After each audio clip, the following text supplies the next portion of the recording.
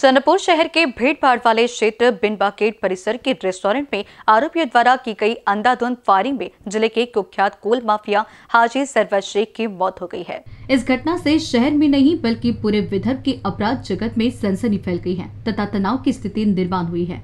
इस मामले में पुलिस ने ताबड़तोब कार्रवाई करते हुए पाँच संदिग्ध आरोपियों को हिरासत में लिया है। सोमवार को दोपहर चार बजे के करीब हाजी पर जानलेवा हमला हुआ है। हाजी सरवर उस समय अपने कुछ साथियों के साथ मिलकर बिम्बा गेट परिसर के शाही दरबार रेस्टोरेंट में खाना खा रहा था कि आनंद फानन में घात लगाए हुए कुछ हमलावर रेस्टोरेंट में घुस आए और उन्होंने हाजी सरवर शेख पर ताबड़तोब गोलीबारी कर हमला बोल दिया। और उसके बावजूद जब हाजी ने दम नहीं तोड़ा तो तेज हथियार से वार कर मौत की घाट उतार दिया। इसी बीच एक हमलावर ने रिवॉल्वर निकालकर हाजी सरवर शेख पर फायरिंग शुरू की। इस हमले में हाजी के सीने में गोलियाँ लगी है, जबकि अचानक हुए हमले से रेस्टोरेंट में मची अफरा तफरी में हाजी के एक साथी को पैर में गोली लगी है।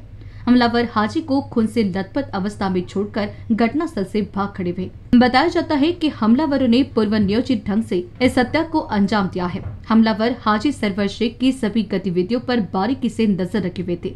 हाजी चंद्रपुर में बिनबा गेट परिसर में शाही दरबार रेस्टोरेंट में होने की जानकारी प्राप्त होते ही वे प्लानिंग के तहत रेस्टोरेंट में पहुँचे थे। ये भी बताया जा रहा है कि हथियारों से लेस चार से पाँच हमलावर रेस्टोरेंट में दाखिल हुए थे, जबकि रेस्टोरेंट के बाहर कुछ हमलावर चार से पाँच कारों में दबिश बनाए हुए थे।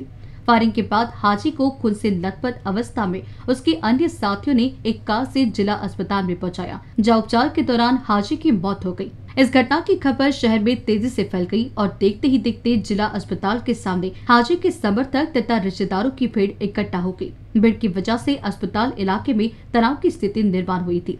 हाजी सरवर शेख के शव को पोस्टमार्टम के लिए भेज दिया गया है। गौरतलब है कि ज़िले में एक के बाद एक हो रही आपराधिक वारदातों का सिलसिला थमने का नाम नहीं ले रहा है।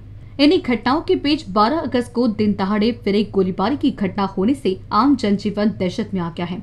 उल्लेखनीय है कि हमले में मृत हाजी सरवर शेख घोगुस निवासी है। वह एक हत्या के संकीर्ण मामले में पिछले दिनों कारकार में विचाराधीन कैदी के रूप में बंद था और कुछ वर्ष पहले ही वह जमानत पर बाहर आया था। मृतक हाजी कांग्रेस का कार्यकर्ता भी था तथा वह नकोड़ा में सरपंच भी रह चुका है। ज़िले के कांग्रेस के एक गुट के नेताओं से हाजी की घनिष्ठता थी।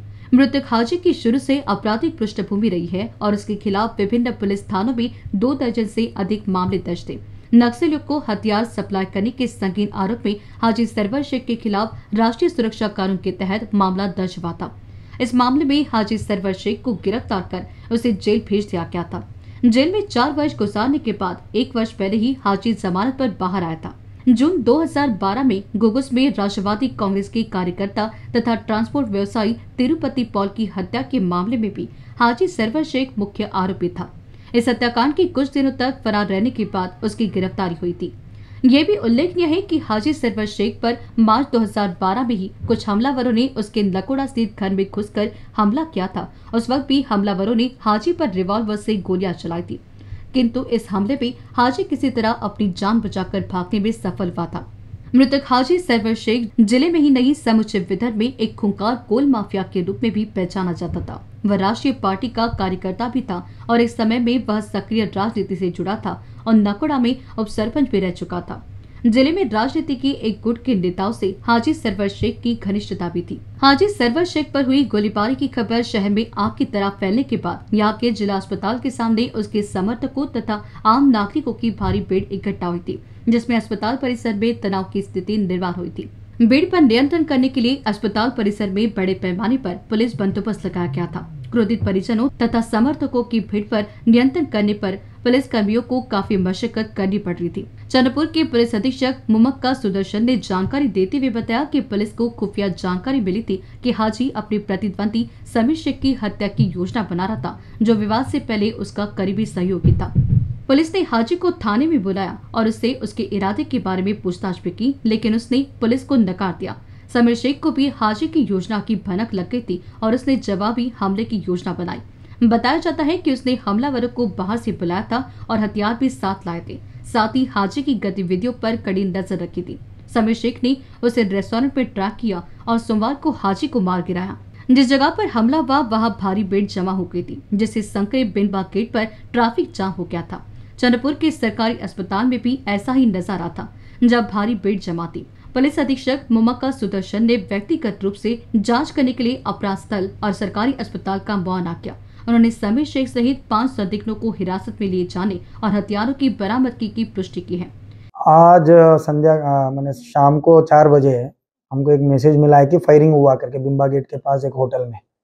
उसी में वो जख्मी को जब लेके गया हॉस्पिटल में हॉस्पिटल में वो मर हॉस्पिटल में मर गया वो बोलता है कि ब्रॉड डेड है, वगैरह है, वो तो पोस्टमार्टम में पता चलेगा बट उसका नाम हाजी है। यानी आधा घंटे के बाद हमारे लोग टीम पीछे पड़ा है आरोपी को पकड़ने में। उसी टाइम पे लोग हमारे को सरेंडर हो गया। तो उसमें मेन आरोपी है समीर शेख।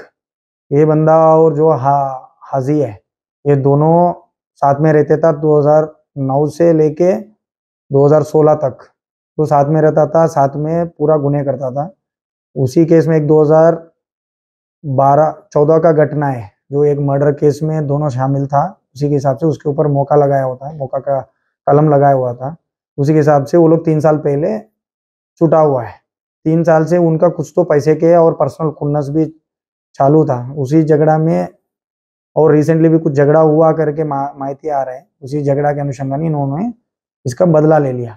इसमें तीन लोग दिग्रज से एक नागपुर से और एक नकोड़ा गाँव से। ये सभी शामिल कल कल चंद्रपुर को पहुँच गया और आज जब उनका लोकेशन इधर पहुँच गया होटल में वो आके गोलीबार भी किया और चाकू से भी मारा और इस, इसमें और एक बंदा भी इंजूर हो गया बट हाजी मर गया। उसी का जो अभी गुना दाखिल करना बाकी है अभी गुना दाखिल करके बाकी चौकसी करेंगे। थैंक यू कुछ वेपन हाँ? चार वेपन भी उनके साथ में हमने जब्त किया है। साथ में चाकू भी है। तो जो भी इंजुरीज के हिसाब से और वेपन तो, तो मैच हो गया। अभी जो बाकी तपाश करेंगे। एनबीसी न्यूज़ के लिए चंद्रपुर से सुनील ताड़ी की सनसनीखेज रिपोर्ट। हार्ट से जुड़ी किसी भी समस्या के लिए आए Mugdha EECB and heart care centre जहाँ होता है 70 प्रतिशत ऐसी सौ प्रतिशत heart blockages treatment without surgery no side effect with advanced soundless P S K machine Mugdha EECP and heart care centre behind Mount Carmel school Ajni square Nagpur